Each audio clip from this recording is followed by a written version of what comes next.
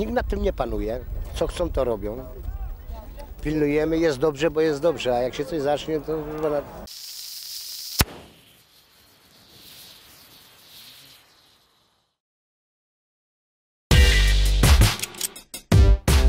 Siema, bakteria Piknik TV.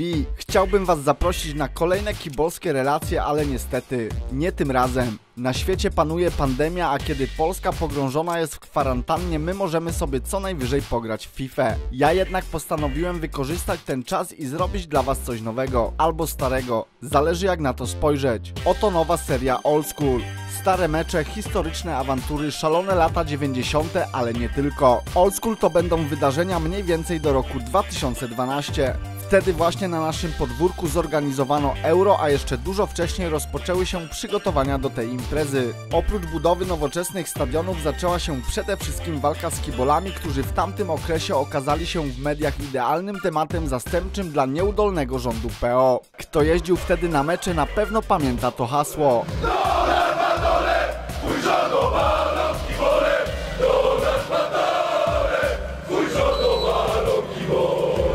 Ja te czasy pamiętam doskonale, ale już na przykład lata 90. to dla mnie historia, którą znam tylko z opowiadań, zinów czy książek. Również w internecie można znaleźć wiele relacji z tego okresu.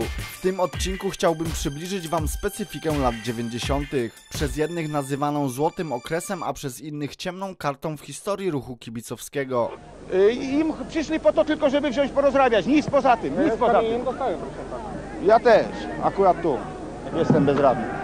Określenie to powstało pod wpływem wzrostu incydentów chuligańskich oraz drastycznego spadku frekwencji na stadionach. Według Janusza Tychmańskiego spadek frekwencji na polskich stadionach nie był jedynie spowodowany przez wzmożone ekscesy chuligańskie, ale przyczyną było także wprowadzenie kołowrotków. W sezonie 88-89 pojawiły się na stadionach Górnika Zabrze, GKS-u Katowice, Legii Warszawa oraz ŁKS Łódź. W sezonie 89-90 były już na wszystkich stadionach ekstraklasy. Nagle okazało się, że liczba 20 tysięcy widzów podawana przez dziennikarzy według kołowrotków wynosiła tylko 12 tysięcy. Okazało się, że dziennikarze mocno przesadzają. Z drugiej strony kluby miały czarno na białym ile osób wchodzi na lewo. Zaczęto walczyć z tym zjawiskiem. Coraz ciężej było dostać się na stadion bez biletu lub dając porządkowemu w łapę. Zbiegło się to ze znacznym wzrostem cen biletów. Poza tym ludzie mieli coraz mniej czasu. W tym czasie powstawały też multiplexy i inne udogodnienia. Kolejną przyczyną spadku frekwencji był ogólny spadek poziomu polskiej piłki. Słabo grała reprezentacja. Ponadto z drużyn ligowych sporo dobrych grajków wyemigrowało na zachód. Na meczach brakowało gwiazd przyciągających kibiców. Piłka nożna i wszystko, co się z nią wiązało, upadły wtedy tak nisko w opinii ogółu, że organizatorzy trzeciej RP po prostu zapomnieli o piłkarskich trybunach. W ten sposób stały się one przestrzenią wolną od socjotechnicznej manipulacji. Co prawda Rywin zakładał kodowaną telewizję piłkarską, ale kibiców pozostawiono bez jakiejkolwiek kontroli. Każda nawet najmniejsza strefa wolności zawsze przyciąga niespokojne dusze.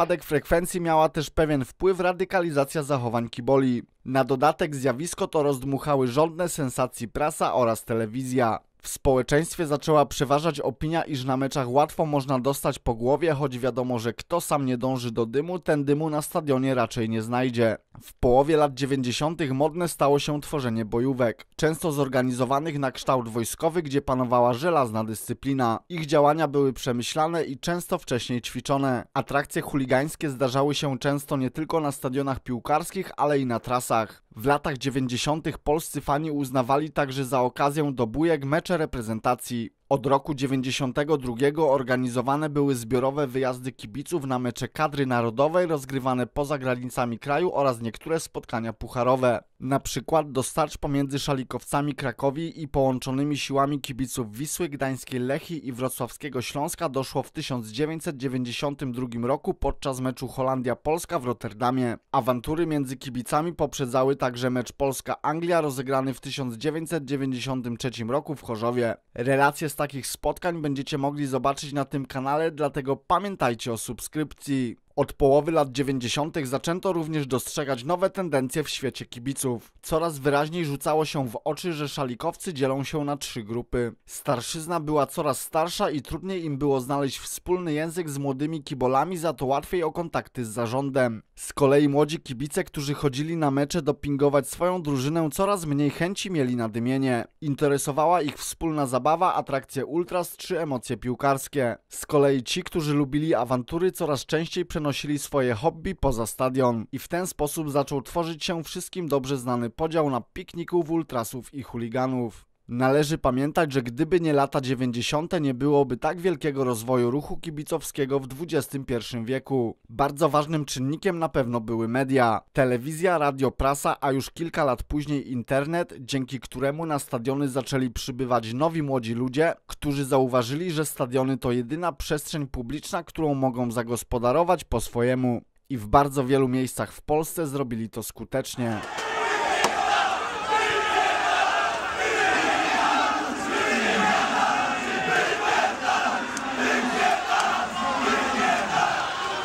Oczywiście temat lat 90. nie został wyczerpany i do tego okresu będę wracał w kolejnych odcinkach. Ten jest tylko wprowadzeniem do nowej serii Old School. Dajcie znać w komentarzach, co wy sądzicie o tych latach. Ciekawi mnie też, czy jest tu ktoś, kto jeździł w tamtym okresie. Chętnie poczytam wasze opowieści.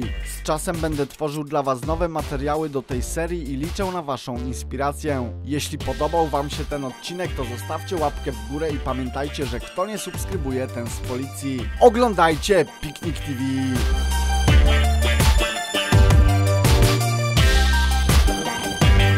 nie jest prawdą i nie przyjąłbym tego y, jako prawda, coś, co się stało, że nie dajemy sobie rady y, z kibicami, z pseudokibicami.